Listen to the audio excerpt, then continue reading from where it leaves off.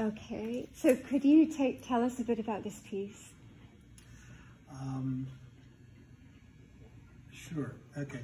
This this series was inspired by a very well-known uh, ceramic sculptor by the name of Betty Woodman, and this was done in a very spontaneous manner, and it has this side as well as a back side.